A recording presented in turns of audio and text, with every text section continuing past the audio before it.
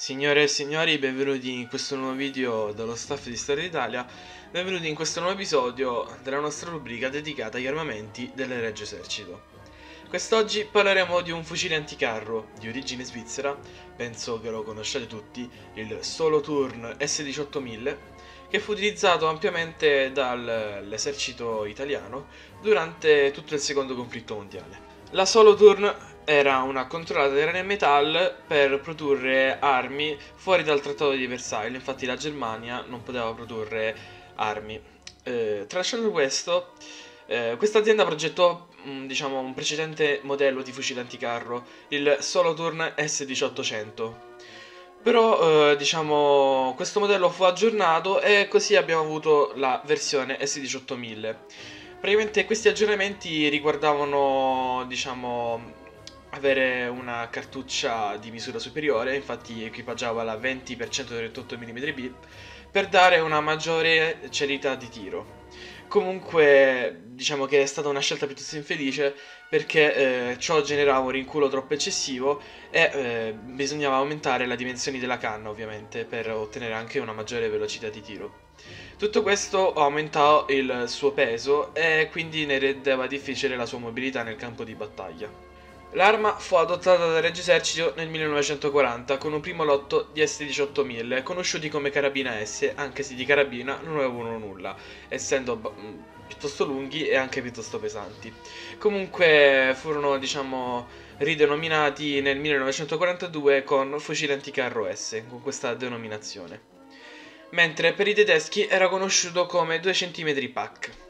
L'arma ebbe una notevole diffusione, distribuita in sei pezzi per battaglione, soprattutto nel teatro nordafricano, dove fu installato anche sulle camionette Fiat Spa AS42 sahariane. Ed addirittura come armamento principale su alcuni carri leggeri L3-33.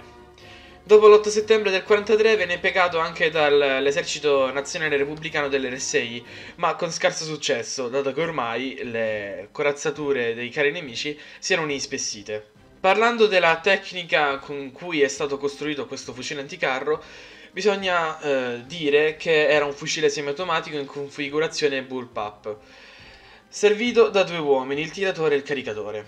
L'arma è camerata, come avevo già detto, per la munizione 20x138 mm B. La stessa delle mitragliere Breda 2065 modello 1935 e Scotti Fraschini 2077 modello 1941. In particolare il fucile impiega un cartoccio granata perforante da 20 modello 35 con tracciatore ed una cartuccia da esercitazione. L'azione è a corto rinculo, con l'otturatore vincolato alla canna tramite un anello rotante, che in posizione di chiusura impegna con delle lette sul profilo interno le apposite scaranature sulla parte anteriore dell'otturatore. Al momento dello sparo, canna ed otturatore rinculano solidali prima che l'anello, costretto a ruotare, svincoli l'otturatore.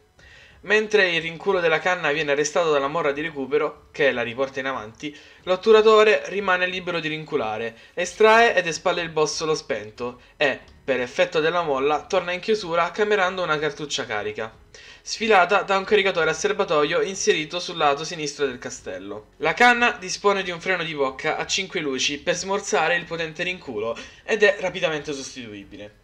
Il sistema di scatto è a grilletto e l'arma viene imbracciata come un normale fucile.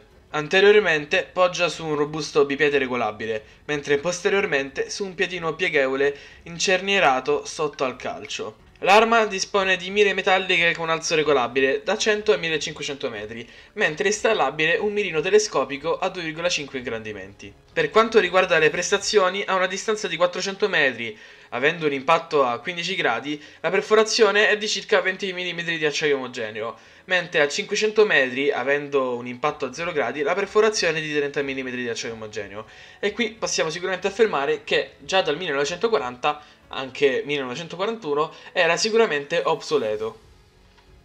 Quindi diciamo che il suo unico vero utilizzo poteva essere come fucile antimateriale o fucile pesante da cecchino, cosa che non fu utilizzato ovviamente dall'esercito italiano, ma sicuramente le, diciamo, la versione antecedente che era stata venduta alla Finlandia, stiamo parlando dell'S1800, fu utilizzato diciamo ottimamente in questo ruolo. Comunque ragazzi, qui finisce il video, vi ricordo di lasciare un like, iscrivervi al canale se non l'avete già fatto e di commentare eh, facendomi sapere la vostra su questo pezzo anticarro. E niente, noi ci vediamo alla prossima, arrivederci.